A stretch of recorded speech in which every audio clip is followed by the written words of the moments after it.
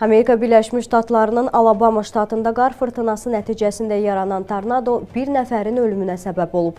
Ştatın Hale bölgəsində yaşanan bu təbii fəlakət səbəbindən daha 8 nəfər yaralanıb.